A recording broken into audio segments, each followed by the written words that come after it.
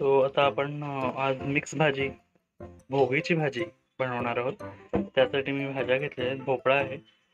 हे आहे गाजर फ्लावर पावटा आणि घेवडा. हे दोन भाज्या आहेत. वाटाणा आहे. त्यानंतर मी भाजी घेतलेली आहे वा वांग आणि बटाटा. मसाल्यांमध्ये आपण घेतलेले हळद तिखट मीठ तीळ आणि आलं लसूण पेस्ट आहे. त्यानंतर टोमॅटो चॉप केलेला आहे कांदा चॉप केलेला आहे.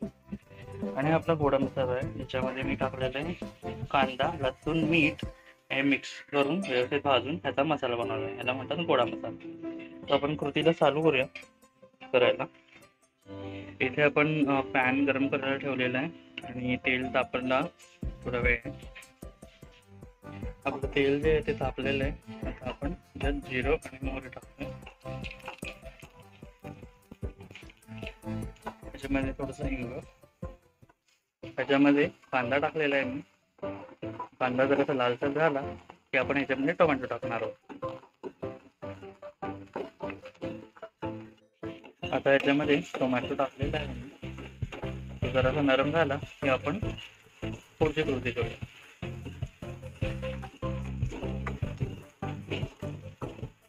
आपण हळद टाकलेली आता.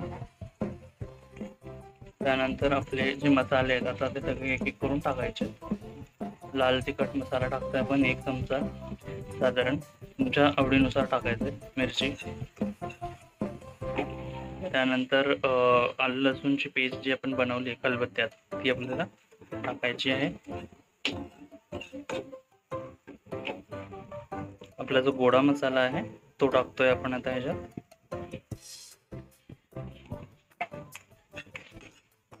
व्यवस्थित एकदम एकजीव करून घ्यायचं आहे. त्यानंतर आपल्याला एक एक करून सगळ्या भाज्या टाकायच्या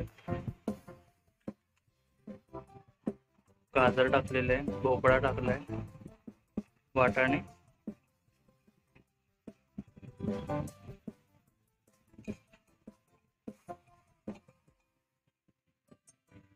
फ्लावर टाकलाय घेवडा आणि पावटा. या दोन्ही भाज्या आपण टाकून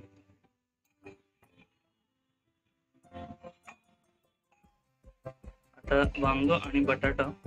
तेही टाकून घेतो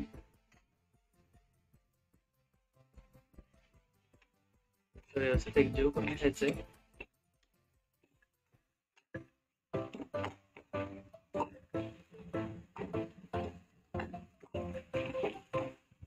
आपल्याला आता तीळ टाकायचे. आता जर मोठा एक चमचा तीळ टाकलोय आपण भाजीमध्ये. हा किचन किंग मसाला टाकतोय आपण.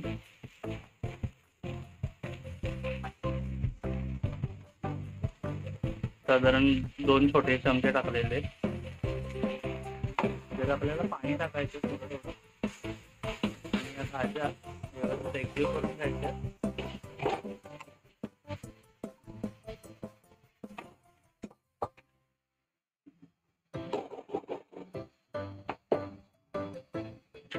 त्याच्यामध्ये आता आपण मीठ टाकणार आहोत. चवीनुसार तुमच्या अंदाजेप्रमाणे तुम्हाला मीठ टाकायचंय. आपण हे धने जिरा पावडर टाकतोय. एक चमचा छोटा. आता ही एकजीव करायची व्यवस्थित आणि हे शिजायला आपल्याला ह्याच्यावरती झाकण ठेवून भाजी शिजेपर्यंत ठेवून द्यायची. भाजीला चांगली उकळी आली आहे. आता थोडीशी कोथिंबीर टाकतोय वरून. आणि आपण पुन्हा एकदा झाकून ठेवणार आहे. एक कड काढायचं आहे आणि आपली भाजी शिजून रेडी होणार आहे. आपली भाजी जी आहे ती रेडी झाली आणि त्यावरती मी कोथिंबीर आणि फिनिश करणार